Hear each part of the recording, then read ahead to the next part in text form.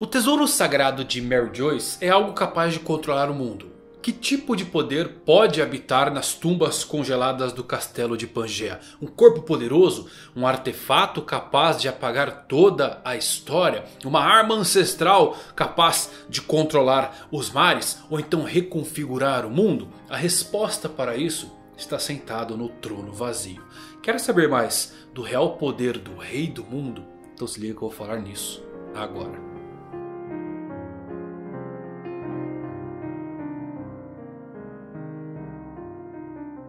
Fala galera, Evandro Fusari com mais um vídeo pra vocês, como é que vocês estão? Espero que todos vocês estejam maravilhosamente bem Hoje trazendo alguns mistérios e segredos desvendados sobre o tesouro sagrado de Mary Joyce em Samá, cirurgia Perene, Lily Nefertari e até Rox Dizzyback. Assiste até o final, esse vídeo tá muito legal. Se você é novo aqui, assiste o vídeo. Se você gostar, eu peço para você inscrever. Se você já é da pior geração, já sabe, né? Dispara o like para dar uma fortalecida. E agora com vocês, tudo sobre os poderes do Rei do Mundo.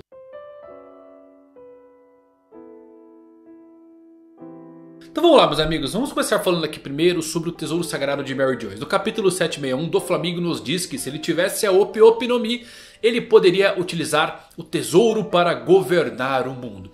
Que, o do Flamengo está tentando dizer aqui? Suas palavras significariam que os poderes concedidos pela Opi Opi no Mi são cruciais para controlar o poder desse tesouro. E especificamente ele cita a operação de mudança de personalidade e os poderes da operação da juventude eterna concedidos pela Opiopinomi. Mas por que esses poderes seriam úteis para se utilizar o tesouro? Não faria sentido a menos que tesouro seja algum tipo de coisa biológica. Já que os poderes da Opiopinomi são todos baseados em cirurgias. No capítulo 906 vislumbramos o tesouro neste painel. Este chapéu de palha gigante que não faz qualquer tipo de sentido. Porque o tesouro seria um chapéu? Isso traz mais perguntas do que dá respostas. E bem, Oda é o mestre na desorientação. Não acho que o tesouro seja o chapéu. Acho que o chapéu está representando algo e marcando o tesouro. Na verdade, acho que o tesouro pode ser um cadáver de uma certa pessoa que talvez tinha conexões com o chapéu de palha.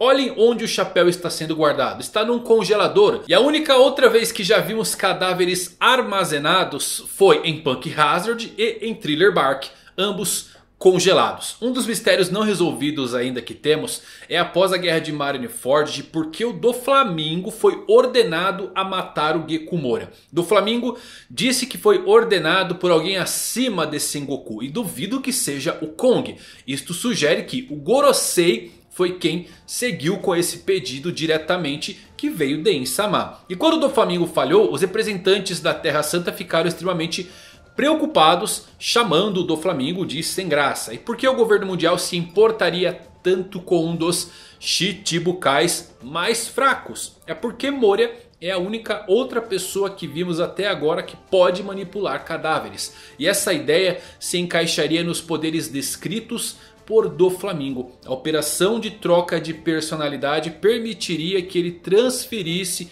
para esse possível cadáver. E a operação da cirurgia Pereira permitiria que ele vivesse para sempre como aquela pessoa. Inclusive vale destacar que quando vimos Nami e Sanji trocando de corpo em Punk Hazard...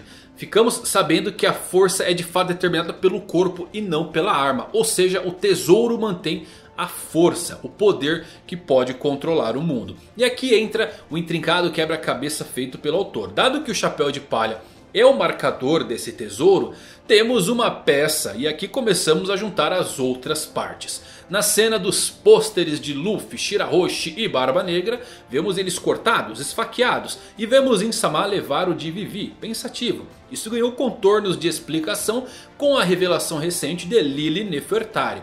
Fato é que Lili Nefertari, ancestral de Vivi e uma das fundadoras do governo mundial, mexeu com Insama apenas por ter seu nome citado. Apesar de algumas possibilidades, podemos afunilar nas mais próximas e plausíveis de por que isso. Insama pode ser Lili.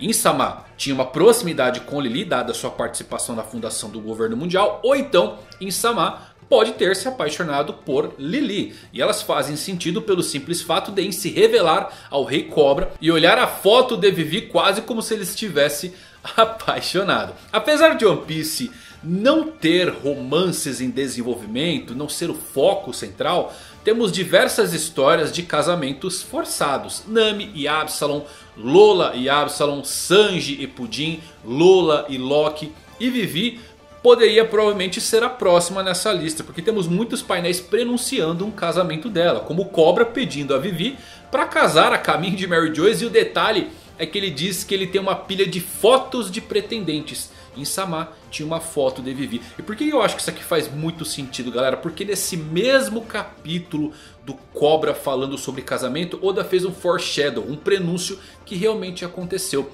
Vemos Vivi no mirante do navio quando Igaran grita para ela descer de lá e diz três coisas interessantes. Que um pássaro gigante poderia aparecer e levar ela para longe. Que um atirador poderia mirar na cabeça dela. E um meteoro poderia cair em cima dela. Ou seja, aqui Oda prenunciou a situação de Vivi na Reverie através das preocupações de Igaran e elas realmente se confirmaram. O pássaro monstruoso é Morgans das fake news. Um atirador certamente vai tentar render Vivi após a morte de Cobra. E o meteorito, bem...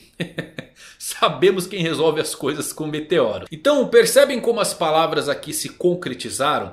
E a foto de pretendente e um casamento anunciado faz muito mais sentido. Se você quiser adicionar mais tempero a tudo isso, temos essa capa de Vivi onde tem um gato carregando uma faixa com os dizeres noiva em treinamento. Então você consegue ver onde isto pode dar. Vivi tem uma estranha semelhança com a silhueta de Lili. E Arabasta foi o único reino dos 20 primeiros a rejeitar a mudança para Mary Joyce. Se Insama estivesse vivo naquela época, isso teria sido, quem sabe, uma rejeição de Imu pela rainha. E digo mais, Lily pode ter sido uma aliada de Joy Boy, mas acabou enganada e se arrependeu do que fez ao reino antigo. E isto pode nos dar uma primeira peça desse quebra-cabeça. O corpo embaixo do chapéu de palha pode ser o de Lily, o que poderia ter um poder absurdo ou mesmo, quem sabe temos ali o próprio Joy Boy, que é um poder que pode ser utilizado para governar o mundo, dado que do Flamengo queria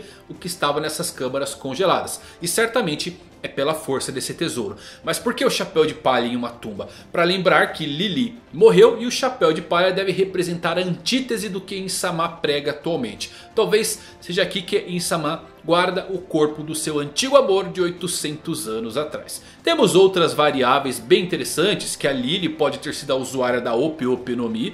Que essa fruta é importante, isso é fato, principalmente para o governo mundial. Eles estavam pagando 5 bilhões de recompensa por ela Galera, isso é muito próximo do próprio Gold Roger. Vale mencionar que nos rascunhos originais de One Piece, a Gomu Gomu no Mi teria esse valor também. Mas hoje sabemos o porquê. Ela é a fruta de Nika, uma divindade. Então não podemos descartar que Lily foi forçada a fazer a operação da juventude eterna em Insama. E é por isso que ela nunca chega a Arabasta. E seu corpo está enterrado no Jardim das Flores onde sua espada é colocada no chão. Ou se preferir, uma parte que eu gosto bastante, o corpo na câmara congelada é o corpo original de Insama. E sua personalidade foi trocada pelo antigo usuário da Opi Opi no Mi.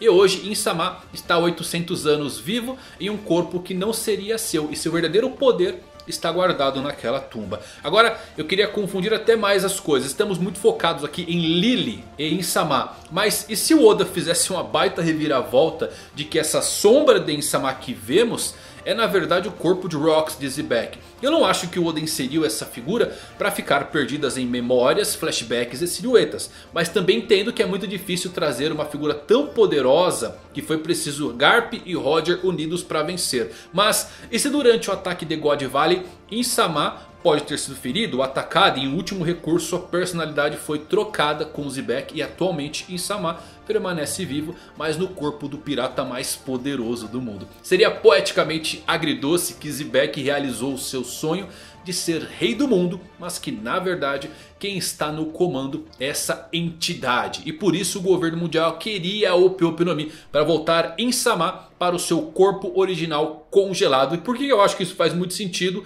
Do Flamengo Barba Negra e Lau citam a cirurgia perene, mas qual a sacada? Vimos que Kaku e Califa descobrem só os poderes das suas frutas depois de consumirem, a não ser que ela esteja na enciclopédia de Akuma no Mi, não tem como saber quais os poderes de um fruto. E Oda não se incomodaria em mencionar a operação da juventude eterna se ela já não tivesse sido utilizada em alguém. Afinal, como alguém saberia sobre o poder dessa fruta de outra forma. Lau não tem ideia de como usar seus poderes depois de ter consumido esse fruto. Então isso é muito significativo, porque simplesmente significa que esse poder específico é conhecido pelo mundo em si. Tal operação já deve ter sido realizada no passado. Então essas conexões podem fazer muito sentido. Inclusive, muitas pessoas até acreditam que o Lau está destinado a utilizar a Opi Opi no Mi para realizar a cirurgia perene e alguém dar sua vida em troca. No entanto, eu não acredito nisso. Eu posso ver diretamente a cirurgia perene sendo realizada no século perdido,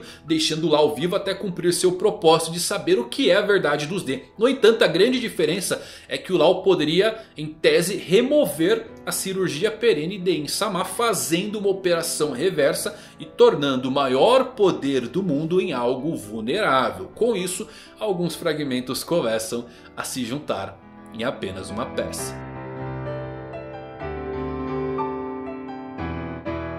Legal isso né galera? Eu realmente acho interessante essa coisa do tesouro sagrado ser um poder capaz de controlar o mundo. Só que o Oda ele deixa essas migalhas de estar numa câmara congelada. E já vimos lugares parecidos mas que abrigavam corpos. Então tem um corpo ali, é de Lily, é de Joy Boy, é de Gold Roger, é o corpo de Insama original? Muitas perguntas, poucas respostas, mas o que está guardado ali de fato é algo capaz de virar o mundo de cabeça para baixo. Talvez não de uma forma mais boa como Roger e Luffy querem.